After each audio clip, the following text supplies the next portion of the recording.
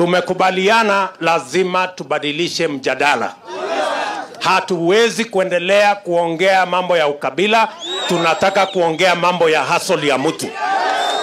Tunataka kuacha ukabila, tuongee mambo ya bodaboda, tuongee mambo ya mama mboga, tuongee mambo ya hasla, kwa sababu we need to move the conversation ili tusiendelee kuongea mambo ya power. Tunataka kuongea mambo ya empowerment.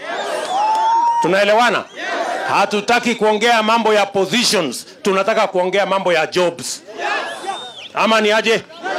Positions ni ya watu wachache, kazi ni yetu sisi zote, na hatuwezi kukubali ati watu watuwambie wako na magodfather. Sisi tunawaambia tuko na God the Father. Ati wanatisha watu ati oh, ukionekana na hasla ati utafanyiwa ati utapelekwa ati itakuwa. Mimi nataka niwaambie hawa watu, sisi hatuna biashara na uoga. Sisi tunataka hope ambayo itampatia mtu nafasi ya kuwa kitu katika taifa letu la Kenya kesho. So we are telling those who are selling to us fear, they should stop that nonsense. We have no business with fear.